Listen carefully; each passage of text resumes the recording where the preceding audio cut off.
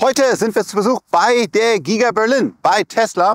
Und wir werden uns die Produktion äh, ansehen, äh, wir werden das Management treffen. Und ja, ich freue mich einfach jetzt, äh, ich bin das erste Mal da hier, Giga Berlin live zu erleben.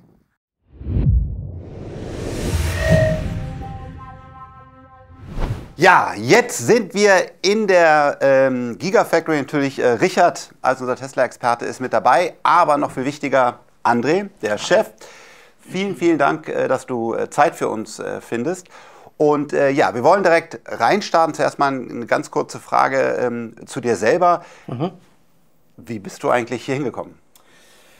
Ja, also ich hab, äh, bin selber seit knapp 25 Jahren in der Automobilindustrie unterwegs. Ähm, habe ziemlich genau 2000 angefangen, damals meine Berufsausbildung, dann berufsbegleitend studiert und habe äh, ja, 20 Jahre bei Ford gearbeitet in Ford, Köln. Okay. Genau, bei Ford in Köln. Und Rheinland im Schönen. Ja, ja, ah, schön, lange in Köln gelebt. Ja, ja.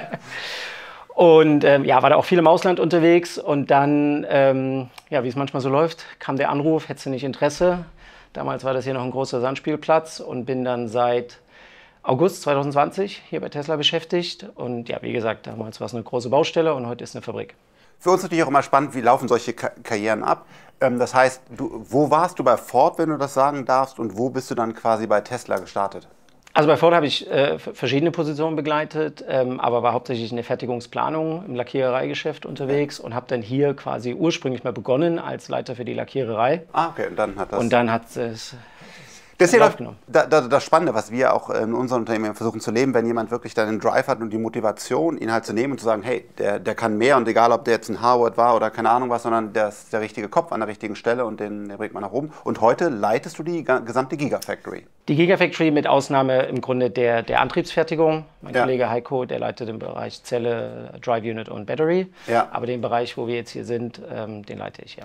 Und hier sind 12.000 Mitarbeiter? Gut 12.000 Mitarbeiter mittlerweile, ja. Crazy, okay. Das heißt, du bist ja auch dann reingewachsen als Person auf einmal, weil dann hast du ja, musst du Mitarbeiter leiten, es gibt Menschen, genau. die sind unglücklich und, und so weiter. Und ja. Hoffentlich nicht, hoffentlich ja. weniger. weniger genau. genau. Und es ist ja auch so schön hier zu sehen. Wir sind wirklich in der, in der Fabrik für uns als Software-Leute. äh, äh was, was Schönes auch mal, echt eine Produktion zu sehen. Aber genau, Richard, vielleicht legst du da los. Genau, André, vielleicht kannst du uns einmal für die Leute, die das nicht wissen, äh, einführen, was wird hier eigentlich gebaut? Und also offensichtlich ein Auto, äh, aber äh, welche Teile des Autos und so weiter, dass wir da einmal einen Überblick bekommen. Ja klar, also wir bauen das Model Y, nicht irgendein Auto, meistverkaufte Auto Europas, meistverkaufte Auto der Welt, ein Elektroauto, das finden wir schon auch ganz besonders sind wir auch echt stolz drauf. Ähm, und wir bauen das komplette Auto hier. Also äh, mhm. Tesla ist ja auch ein Stück weit dafür bekannt, eine hohe vertikale Integrität äh, zu haben. Und äh, ja, wir haben im Grunde alle Fertigungsprozesse hier am Standort. Äh, Gießerei, Presswerk, natürlich Lackiererei, ähm, Rohbau, ähm, Endmontage, aber auch mhm. die Kunststofffertigung, Kunststofflackierung, ähm, beginnen gerade mit der Batteriezellfertigung, Batteriemontage, Antriebseinheit. Also da mhm. passiert wirklich sehr, sehr viel hier direkt am Standort. Das, das, heißt also wirklich, die Batteriezellen werden auch jetzt hier langsam produziert oder wir, das läuft gerade erst an? Erste oder? Teilkomponenten produzieren wir momentan hier, mhm. die wir aber nach Amerika verschiffen. Ähm, aber noch nicht für die lokale Fertigung. Okay, aber, aber geplant ist, äh, dass das früher oder später im Grunde alles an dieser Stelle hier produziert wird? Geplant ist schon, dass wir hier irgendwann eines Tages ähm, wirklich alle Komponenten mal fertigen. Mhm. Ja. Und wie viele Autos baut ihr hier aktuell? Ich glaube, geplant war mal 500.000 oder so im Jahr. Wie, wie genau. weit seid ihr da? Also wir haben ja vor ja, nicht mal zwei Jahren gestartet. Mhm. Ja, wir haben am 4. März 2022 die Genehmigung erhalten und äh, ja, ungefähr drei Wochen später die ersten äh, 30 Autos ausgeliefert, mhm. war Elon auch da. Ähm, und ja, wie gesagt, das ist noch nicht mal zwei Jahre her und sind seitdem kontinuierlich hochgelaufen. Einschichtbetrieb, Zweischichtbetrieb, Dreischichtbetrieb und sind ähm, jetzt jenseits der 6000 Einheiten pro Woche Marke angekommen. Mhm.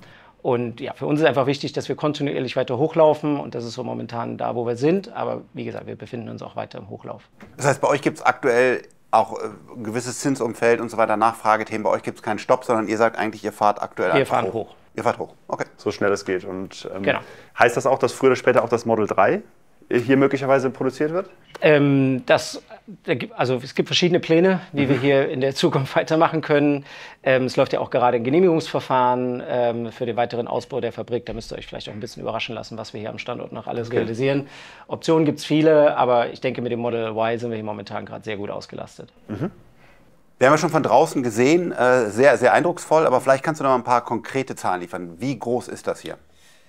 Sehr groß. Wir nennen sie auch Gigafactory. Ja. Ähm, das Grundstück, äh, wo, die, wo die Fabrik drauf gebaut wurde, hat 300 Hektar. Für die, die das nicht so ganz in Korrelation packen können, so anderthalb Mal die Größe von Monaco.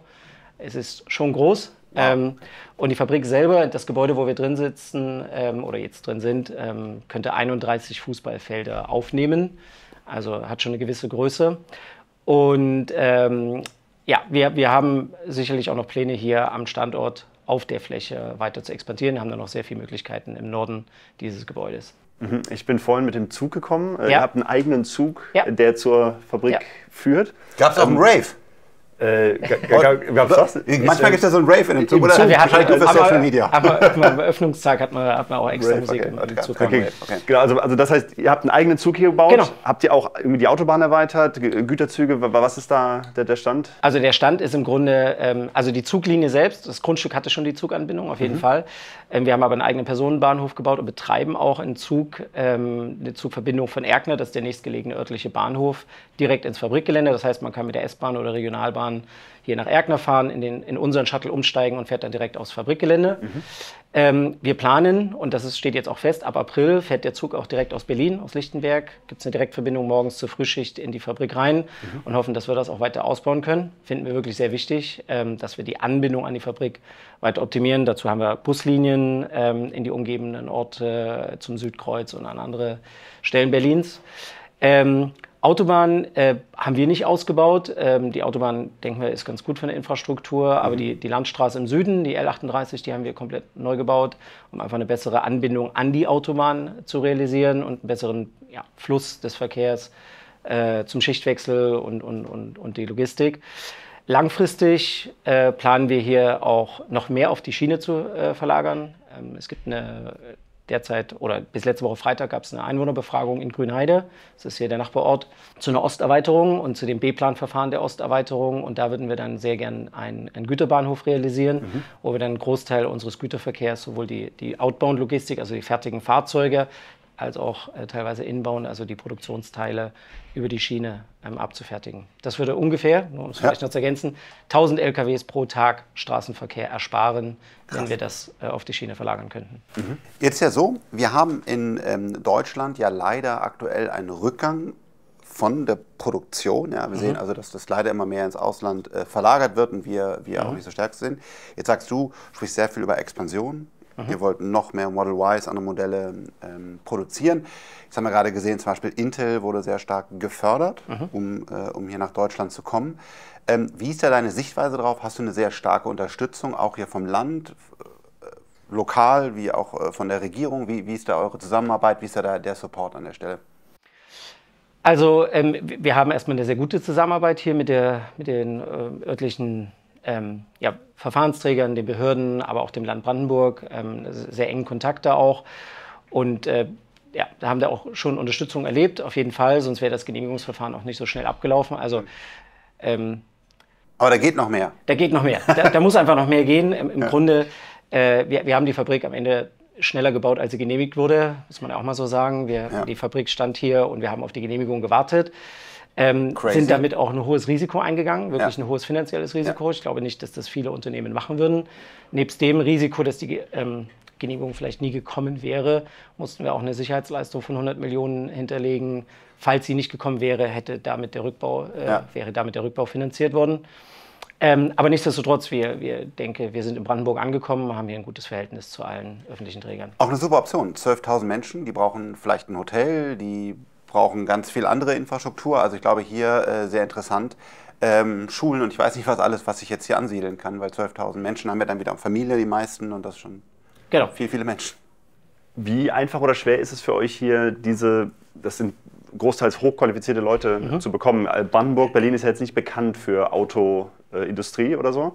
Ähm, Jetzt schon. Wie, ja, je- also jetzt, also zumindest historisch war es nicht, genau. Also jetzt schon. Mhm. Ähm, wie, wie ist da aus eurer Sicht die, die Schwere oder Einfachheit, äh, da die entsprechenden Leute zu kriegen? Also erstmal, dass wir es geschafft haben, in so kurzer Zeit über 12.000 Leute einzustellen, das spricht schon mal für sich. Also das haben, wir, haben wir geschafft. Ich denke auch äh, Leute, die sich ganz bewusst für Tesla als Arbeitgeber auch entschieden haben, diesen Weg mitzugehen, auch dran glauben, für ein Unternehmen zu arbeiten, was nicht durch eine Transformation gehen muss, nicht durch diesen schmerzhaften Prozess des Wandels gehen muss, sondern sich wirklich der Zukunft widmen kann. Wir haben keine Altlasten, die wir erstmal ähm, abarbeiten müssen. Ähm, Und die Leute sind ja jetzt erstmal da und wir qualifizieren viel äh, selbst ähm, und haben auch ein sehr großes Ausbildungsprogramm. Wir sind mittlerweile der größte Ausbildungsbetrieb, nebst natürlich der größte privatwirtschaftliche Arbeitgeber, auch der größte Ausbildungsbetrieb Brandenburgs. Aber ähm, ja, wir, wir rekrutieren wortwörtlich grenzenlos, um einfach zu schauen, dass wir die besten Leute ähm, für uns gewinnen können.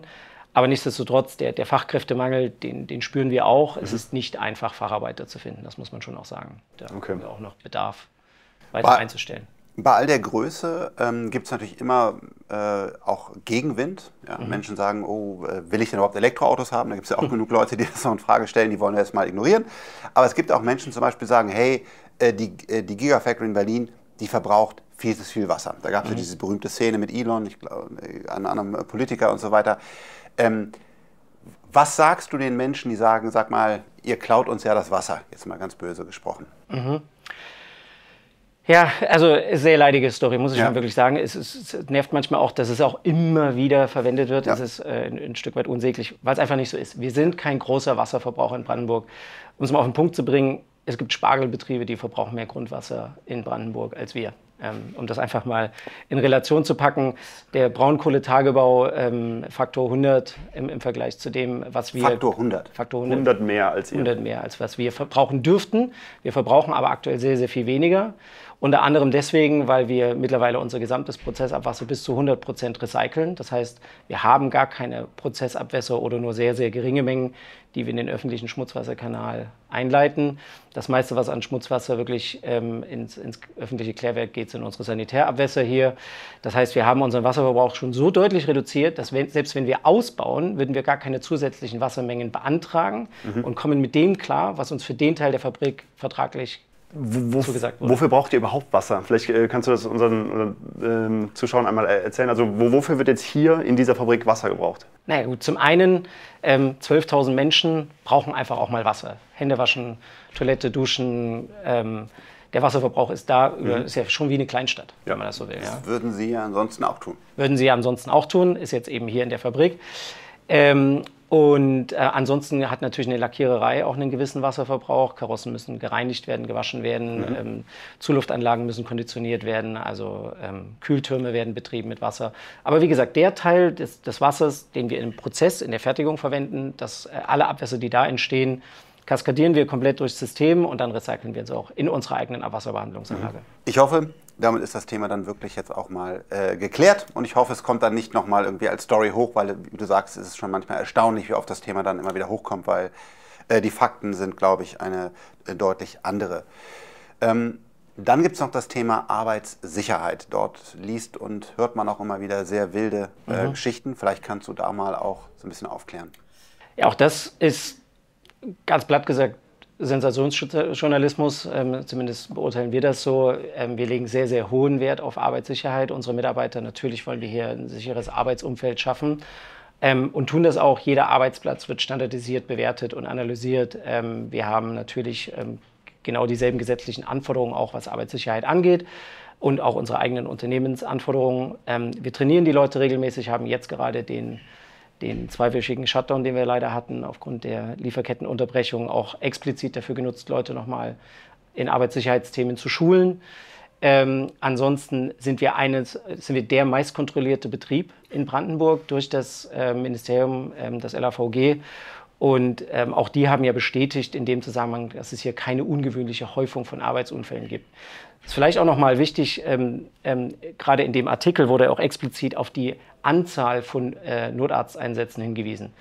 Nochmal die Referenz, äh, bei 12.000 Menschen ist nicht jeder Notarzteinsatz gleichzeitig ein Arbeitsunfall. Wir ja. haben hier auch einfach Menschen, die ähm, Unwohlsein haben oder auch schon Herzinfarkte gehabt, leider auch schon Schlaganfälle, also wirklich schwere medizinische Vorfälle gehabt.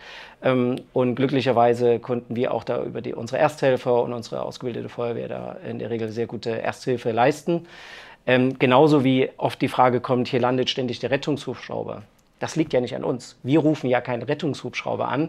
Das entscheidet die Leitstelle, ob sie einen Hubschrauber oder einen Rettungswagen schicken, basierend auf der Verkehrslage, basierend auf, wo der Patient wahrscheinlich hin verlegt wird, dass man den, den Weg möglichst optimiert. Das sind alles so Sachen, Ähm, da, ist, da wird sehr viel erzählt, da ist wirklich einfach sehr viel Unwahrheit auch dabei. Dann zum, äh, zum letzten äh, Punkt, was ja auch immer wieder angesprochen wird, dass mhm. ihr ganz, ganz viele Bäume rodet. Mhm. Vielleicht können wir das dann auch einmal erklären, um es dann danach dann hoffentlich nicht mehr zu hören. Also für die Fabrik wurde natürlich wurde Wald gerodet, ja klar. Hier war eine, eine Kiefermonokultur. Ähm, wenn ich mich recht äh, entsinne bzw. recht informiert bin, war das ein, Wald, der äh, zu DDR-Zeiten damals noch ähm, angelegt wurde für die Papierindustrie. Ähm, und wir haben hier circa 300 Hektar Wald ähm, gerodet, größtenteils, und haben aber auch 300 Hektar Wald in Brandenburg wieder aufgeforstet, und zwar Mischwald und keine Monokultur. Wo? Ähm, in, in, verschiedenen Bereichen, aber zusätzlich zu den 300 Hektar haben wir noch mehr kompensiert, indem wir im Radius von 10 Kilometern um die Fabrik herum Monokulturen aufforsten mit okay. Laubbäumen, mit Sträuchern und so weiter, um einfach qualitativ hochwertigeren ja. Wald herzustellen. Ähm, das werden wir auch in Zukunft machen. Wir sind ein Unternehmen, was sich der Nachhaltigkeit verschrieben hat. Uns liegt es ja nicht daran, Natur zu zerstören, sondern wir wollen sie erhalten. Und das machen wir natürlich auch, indem wir solche Maßnahmen übererfüllen. Super. Dann haben die Themen, glaube ich, jetzt ähm, geklärt. Ähm, es gibt ja eine gar nicht so bekannte in der Presse, nicht so bekannte äh, Tesla Automation Unit, also die auch mhm. von, von Tesla ist, die auch in Deutschland ist, in der Eifel, ja. gar, nicht, äh, gar nicht so weit weg von, von uns, von, von 10x, DNA und Freigeist. Ähm, ist das ein Vorteil für euch, dass mhm. ihr sagt, the machine that builds the machine, äh, mhm. äh, die da sind, dass, dass man da eine, eine, gute Kooperation hat? Wie, wie läuft das ab? Und vielleicht vorher einmal noch, was machen die da eigentlich? Ja. Auch, auch, für Leute, die das, die das noch, nicht, äh, noch nicht gehört haben. Ja, also das ist im Grunde, wo wir, wo wir sagen, wir bauen nicht nur die Fabrik äh, selber, die das Auto baut, sondern wir bauen teilweise sogar die Fertigungsanlagen selber, die wir dann in unseren Fabriken verwenden. Und das macht Prüm. Die äh, sind ein Automationshersteller oder Tesla Automation in Prüm ja. natürlich. Ähm, die stellen Fertigungsanlagen her, ähm, auch für uns einige hergestellt, vor allen Dingen im Bereich der Antriebsfertigung, Drive Unit und Battery. Ähm, und natürlich ist es ein Vorteil. Äh, Sie sind ja nur einen Anruf entfernt und gerade im Hochlauf der Fabrik hatten wir hier und da sicherlich ein paar Schwierigkeiten, auch technische Herausforderungen. Und da waren sehr viele Mitarbeiter ähm, aus Prüm eben für eine ganze Zeit hier und haben uns wirklich geholfen, durch den Schmerz des Anlaufes zu kommen und haben hier sehr viel, sehr viel Zeit auch verbracht und uns äh, ja, tatkräftig unterstützt. Und das ist einfach gut zu wissen, dass wir die haben äh, als Business Unit. Ähm, die, wie gesagt, die sind sehr schnell da und ja, wenn wir in Zukunft hier expandieren oder Automationsprojekte umsetzen, sind die sicherlich auch einer ähm, wie, wie, quasi ein interner Lieferant zu sehen. Mhm. Das heißt also, die Technologie aus der Eifel wird zum einen hier verwendet. Genau. Wird das dann, wenn das gut funktioniert, auch in die anderen Tesla-Fabriken auf Natürlich. der Welt, nach China, ja, ja, nach Kalifornien USA, und ja, so weiter? Ja, auf jeden Fall. Okay. Tesla ist ja einfach ein, ein, Unternehmen, klar, Elon ist auch sehr vocal in, in seiner Art und Weise. Er sagt, ich, ich will kein Homeoffice, Hardworking, keine Strukturen, wenige Fachbegriffe, die keiner mehr versteht und so weiter. Das ist schon eine besondere Kultur. Jetzt kommst du ja auch aus einem größeren anderen Autounternehmen.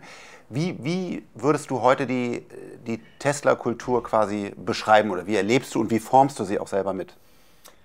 Ja, also sehr, sehr vielschichtig, der, ist der Unterschied. Ähm, vor allen Dingen sind wir hier deutlich weniger bürokratisch als viele andere große deutsche Unternehmen. Wir sind sehr, sehr viel schneller. Wir haben flache Hierarchien. Mhm. Und da reden wir nicht nur drüber, die gibt es auch. Ja? Also die, hier gibt es, wenn man auch durchs Büro geht, hier gibt es keine, keine Einzelbüros, keine Vorzimmer. Ähm, hier kann jeder zu jedem gehen. Ähm, und das beschleunigt. Gibt nicht mal einen Chefparkplatz.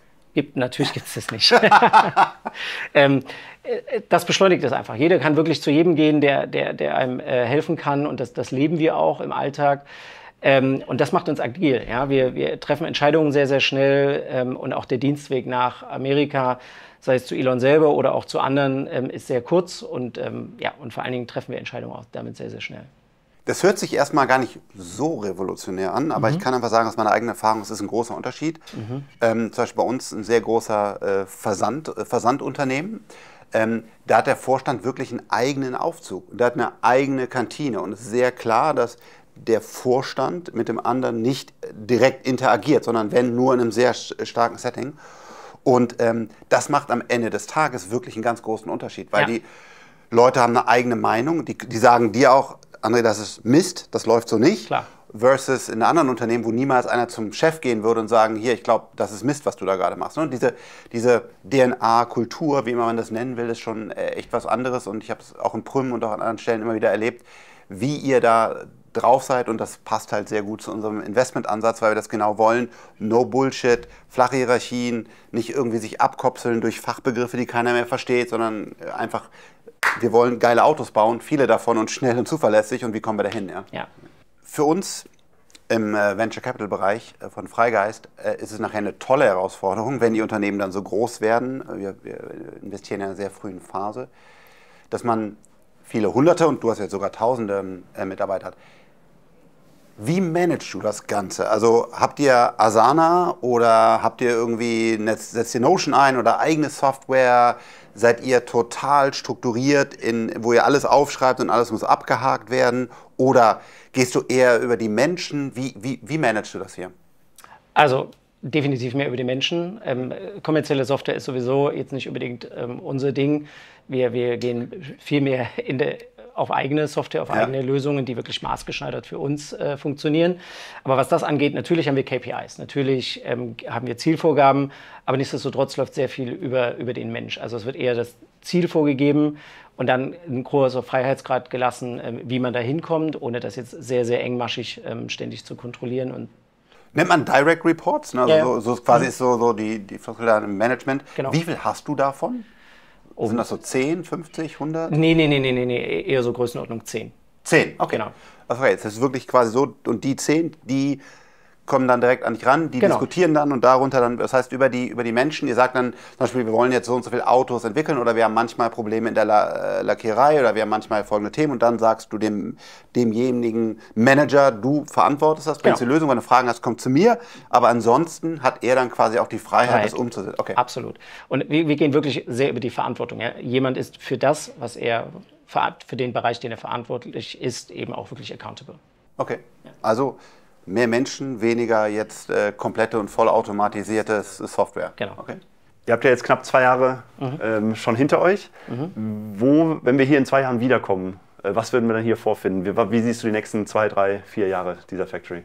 Also sehr spannend auf jeden Fall. Wir sind ja, äh, also ein bisschen müsst ihr euch natürlich überraschen lassen. Wir sind äh, jetzt ja gerade in einem laufenden Genehmigungsverfahren für mhm. den Ausbau der Fabrik. Ähm, wir haben bauvorbereitende Maßnahmen, wie beispielsweise die Rodung hier im Norden schon getroffen und wollen natürlich ähm, ja, mit dem Ausbau der Fabrik weitermachen. Das ist ganz klar unser, unser Ziel, den Standort hier auch weiter zu entwickeln, ähm, weitere Produktionskapazitäten aufzubauen. Und Tesla hat eine große Produktpalette, nicht nur Fahrzeuge, also es, vieles ist denkbar, aber das, ja, die Details, die werden dann okay, folgen. Also wir lassen uns überraschen. Ihr müsst euch Tesla macht nicht nur Autos. Das ist ja jetzt keine ja, genau, ja, ja. Äh, das war so ein bisschen der Hinweis, weil viele sehen ja Tesla als Autofirma. Ne? Und mhm. für uns halt Tesla eine, eine Robotics und, und AI und, und, und Chip einfach eine Technologie-Company. Energie-Company und ähm, natürlich äh, fahren wir die Autos gern und finden die auch super, mhm. aber für uns ist halt Tesla einfach kein Auto, Autounternehmen, sondern das Auto ist halt ein Produkt von, genau, von, von, von, von, ganz, genau. von ganz vielen und äh, absolut, ja. Deswegen, weil manche, für manche ist es immer noch so, also wenn man den ganzen Research oder auch manche Presse und so liest, dann ist halt einfach Tesla ein Autobauer. Ja. Und äh, genau, baut ihr auch, ihr baut herausragende Autos, aber mhm. ihr macht auch ganz viele andere Dinge. Das stimmt. Ich finde ja super spannend, wie man als Persönlichkeit wächst. Ja? Und ich glaube, wenn, als du damals noch im anderen Großkonzern gearbeitet hast, hättest du dir wahrscheinlich nicht träumen lassen, dass du jetzt heute hier, genau in Brandenburg, in so einer, so. Und was waren persönlich so deine, deine, deine krassen Entwicklungen? Also hast du irgendwie ein Buch, was du empfehlen kannst?